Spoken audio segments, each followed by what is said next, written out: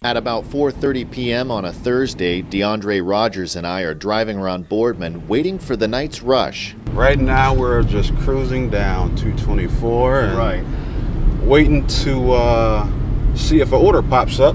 5 to 8 p.m. is typically the busy time for Valley Delivered Goods, a business started in December by Rogers and Cassandra Davis. And we knew that in the bigger cities that there's food delivery for re- restaurants and groceries.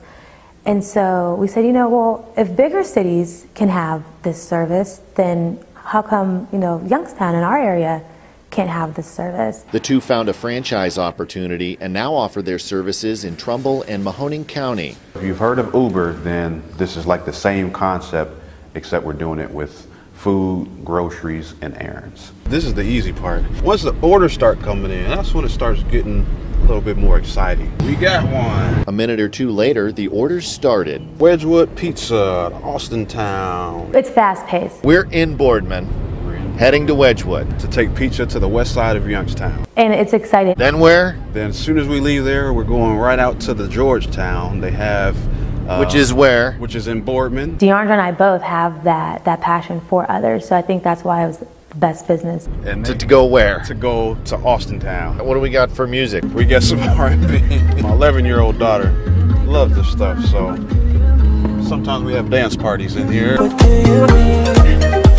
Says you're running out of time. What do you mean? One burger, one plain. Thank you. With the pizza picked up, we headed out to deliver it to the customer. You know the worst part about this job, DeAndre, What's that? is that I can smell food. Oh, all day long. While DeAndre is doing the running around, the orders and organization is mostly being handled by the website. If you want restaurant delivery, you go to order takeout, you go to restaurants.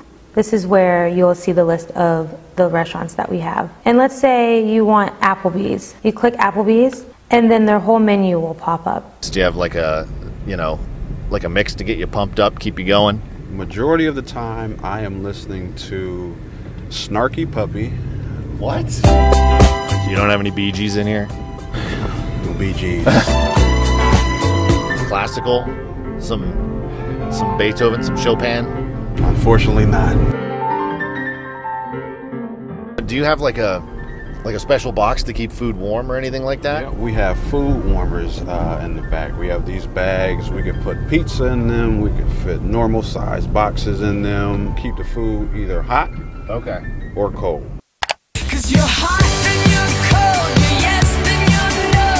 Davis and Rogers say business has been growing steadily and they're currently looking to hire more drivers. Probably about what, one or two, probably two. She said two. I'm looking at two to six. As rain turned to snow and day to night, the orders kept coming in.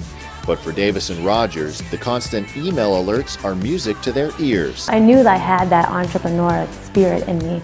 It's just all about taking that step and actually doing it. Envisioning the future, I, I know that it could really explode and get really big because there's nothing like this around here in this area. Cause you're hot